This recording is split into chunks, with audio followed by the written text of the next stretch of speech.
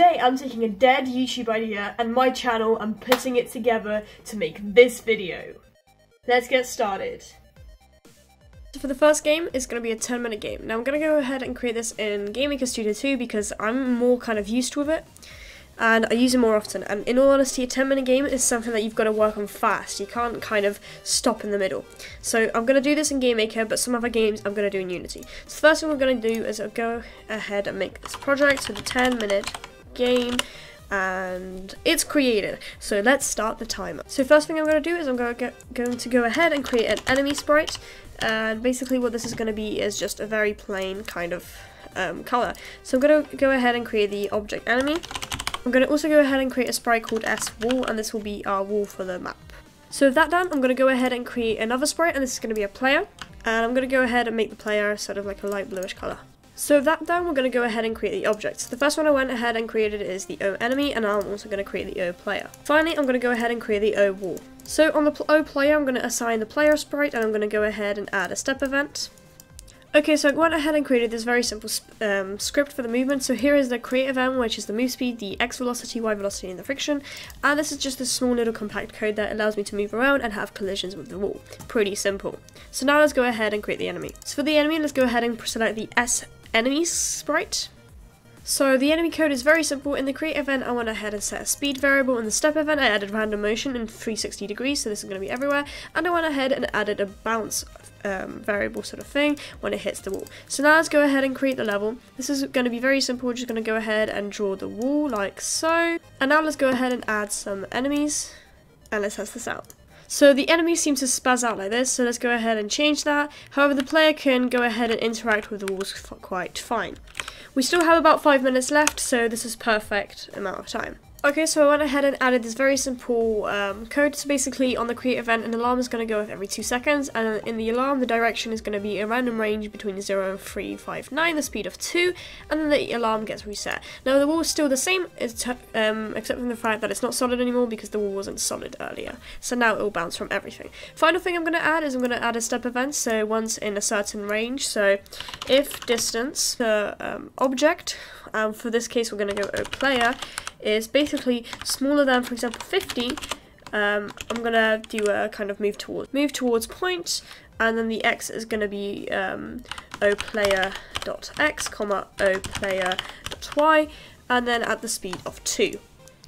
Um, final thing is basically if the distance is more than um, 50, and I'm actually going to change this to maybe about 10 because it's a small map, um, we're going to make it move away from the player. So I did this very simply for it just to basically restart the timer, so the whole um, timer thing is going to happen again. So let's go ahead and test this out. Okay, so I went ahead and tested it out and I had to remove the other thing because um, they didn't move at all. So now I set it to 25 because 10 seemed a little bit too small.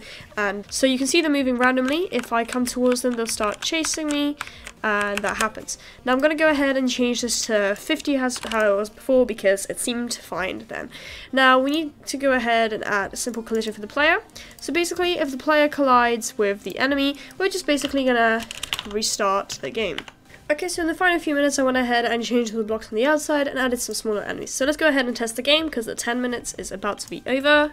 So finally, let's go ahead and test the game and there we go it should work and we should be able to escape now and there we go this is my um, 10 minute game really bad but it seems to work quite well so now let's go ahead and move on to the one hour game. Hi guys, Zyger here, welcome to the one hour challenge now. So I'm going to be trying to create a game in an hour. Now I'm doing this in Unity because I just did one in GameMaker. Now I'm going to go ahead and try to kind of um, go a bit advanced with this one. So I went ahead and created a Unity project and I made it in 3D. So we have this like nice kind of 3D area right here. I'm going to try and make this kind of tumbling cube um, kind of code because I think it'll be quite easy to do. So first thing I'm going to go ahead and do is create a 3D um, object which is going to be a cube.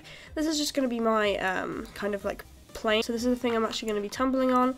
I'm going to make it quite nice and wide like so and the thickness is okay. So what I'm going to go ahead and do that now is I'm just going to quickly rename this to my um, ground. I'm going to go ahead and make another 3D object. This is going to be a cube and this is going to be um, my player. So what I'm going to go ahead and do as well is just ensure that this is actually over the top of the um, what's it called the pane because otherwise it makes no sense to have it like so. So if I quickly go into 2D I should be able to kind of shrink the size of it a bit and kind of centralize it. So if I go ahead and press play what you notice is we've got a plane and we've got a cube.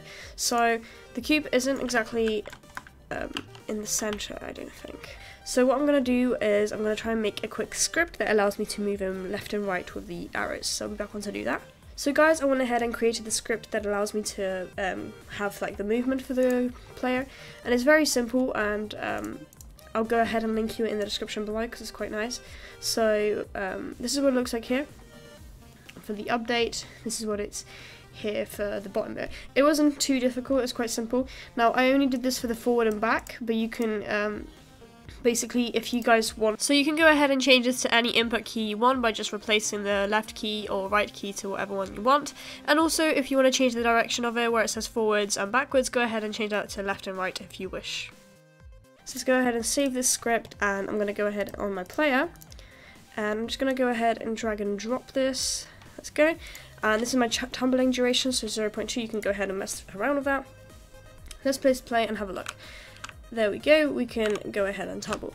Now I'm going to go ahead and set that duration down a little bit maybe. And I'm also going to make sure that the player is actually touching the ground so it looks quite um, like, um, that's way too fast, my bad. I'm going to change that to like 0.4. And what you'll notice now is the player can go ahead and move on the ground. Now he's not exactly just yet in the ground, so let's go ahead and ensure that. And also I'm going to change that back to my 0.25. So I'm just going to play around with this and see when it works. So now we go ahead and we have a nice kind of player. However, this player doesn't have a rigid body or gravity right now. So let's go ahead and add a rigid body 2D uh, because conflicts with the box collider. Oh, we can go ahead and remove this box collider, let's add a rigid body 2D. So the next thing we have to do is go ahead and add some physics and gravity to this cube. So although we can see it here and we can move it, it doesn't actually have any gravity. So the first thing I'm going to do is I'm going to go ahead and add a rigid body to the player itself. After doing this, I added a rigid body and I went ahead and set the gravity to 1, the angular drag to 0.05, drag to 0, mass to 1. You can go ahead and adjust this yourself, however much you want. Now for the ground, I went ahead and added a box collider so that I can actually collide with it. Now when we press play, we should be able to have some gravity. As you can see, the cube dropped and I can go ahead and still move the cube, however, it can fall off the edge now.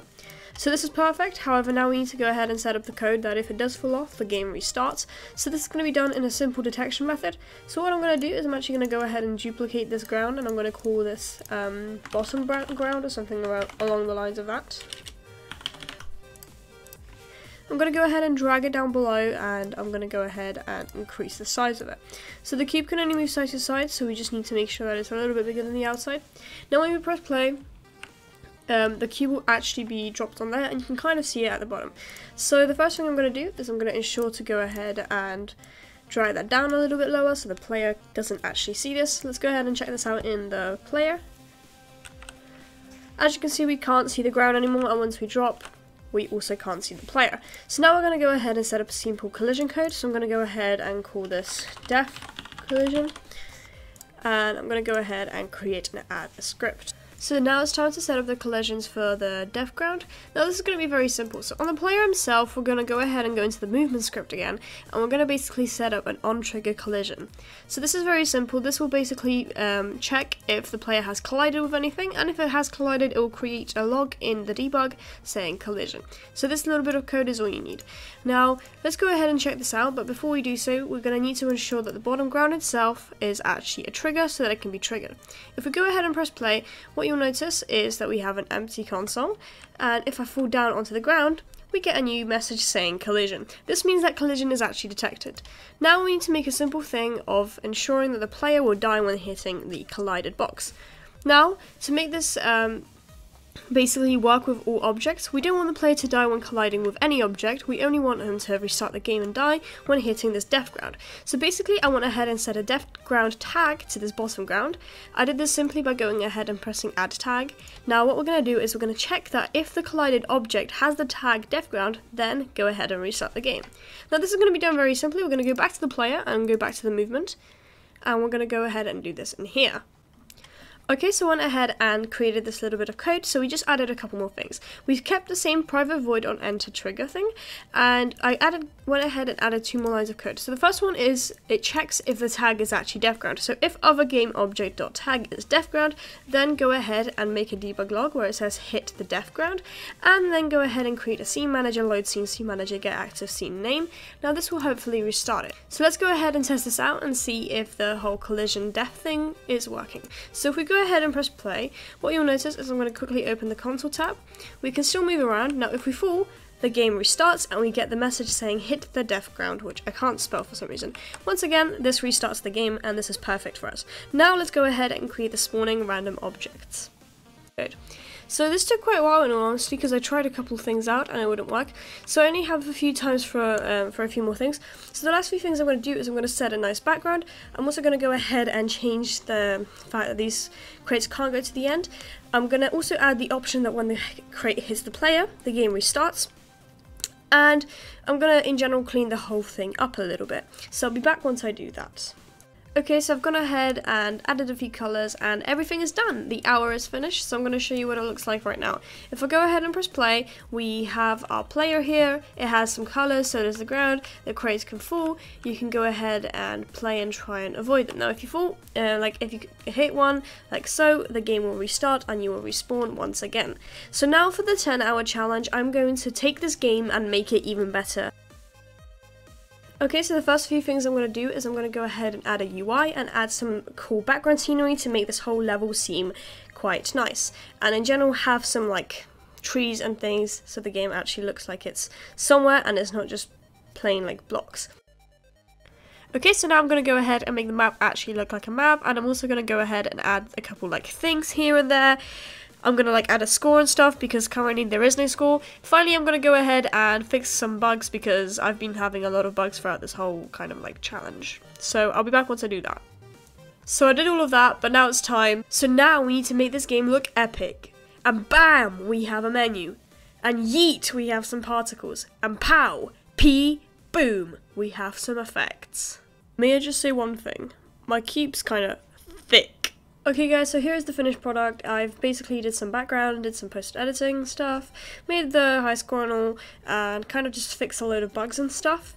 So I'm going to quickly show you what it looks like when I play it. So let's go ahead and hit play. We still have the movement of the cube going like so. You can see the particles of the um, crates when they explode. It's pretty cool.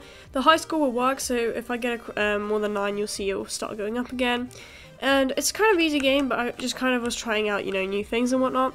Either way, I'm really happy about it. I only spent about 10 hours on it. By the way, I'm still not very familiar with C++, um, C Sharp, sorry. So this is still an experience. The particles still look kind of janky and stuff, so what I'm going to do is probably give you guys the source, so you'll be able to um, kind of, what's it called, work on this yourself if you wish. So I'll leave all the links to it in the description below for you guys to go ahead and check out and all. And yeah, hopefully you've enjoyed the video. Make sure to leave a big fat thumbs up and subscribe because you guys are growing and it's just amazing. So if you watched till this like part of the video, thank you very much because you're helping me out a lot. Either way, thanks so much guys and I'll see you guys later. Bye.